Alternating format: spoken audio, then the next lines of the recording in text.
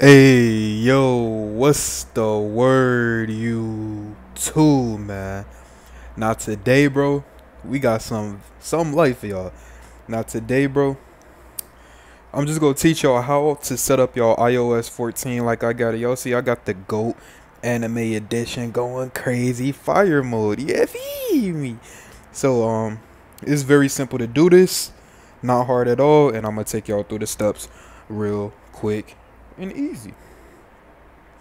So first thing first, all you want to do is go to your app store. So you see I have my app store in the blue section going crazy, going stupid. Once you go to the app store, all you want to do is go to type in um Widgetsmith. Widget Smith and download that app. Widgetsmith. I'm going to open up real quick. As you can see, I got all my widgets up in here. It's all through this app, Widgetsmith. So basically, all you want to do is what I've been doing is just going to Safari. You see, just easily just type in any picture you want on Google. See, I had the Drake black and white. Save that picture to your phone. Then once you go to um Widgetsmith, let's go to the app real quick. Actually, if you have the app downloaded, all you literally do is to add a widget, just hold down on your phone. Anywhere on your phone, just hold down till you get to this little edit menu. Once you get to this edit menu, all you want to do is press start, scroll all the way down, and you should see Widgetsmith at the bottom. Select which size widget you want. If you want a small one, a medium one or a large one. I'll just choose small for the video. And then press done. To edit the widget, just hold on the widget. is going to show up as a blank widget. Only reason it's showing up is this because I already have one. It's going to show up as a blank widget for you though. You just hold on to it, edit the widget. And hold on. Actually, to add the picture, you want to go to the widget app let me find it real quick.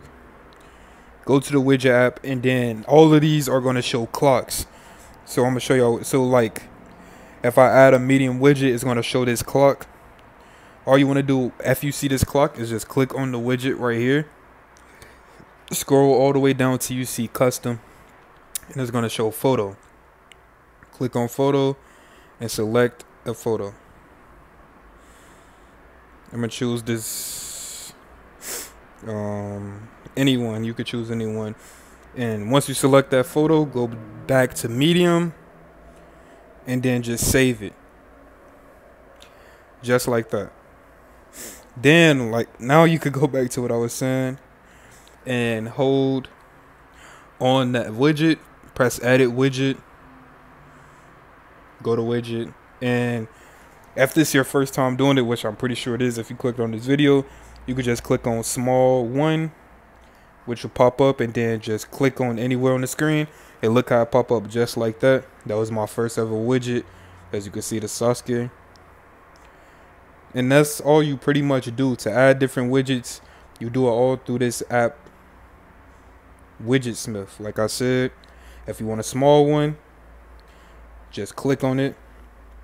If you already made one you gotta go to add small widgets go pop up as the clock click on it again. Go down to custom. Select photo. Choose photo. Boom. Click back out. Save it. Then hold. Press the plus button.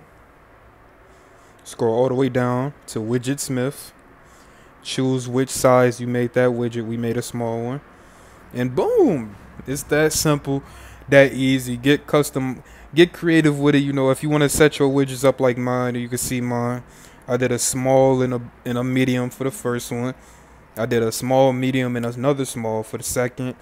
Then I did a medium, small, small, mm, small, medium, small, small. Actually, I gotta delete this. All I had right here was just the large one up top. Let me change that back. And Drake. Then I just got a large one right here. If you want to set up your widgets like I got mine, no problem. Go ahead, do what y'all got to do. I hope this video helped y'all out, and I'm out, man. Peace. Please hit that like, subscribe button if you're new to the channel, though.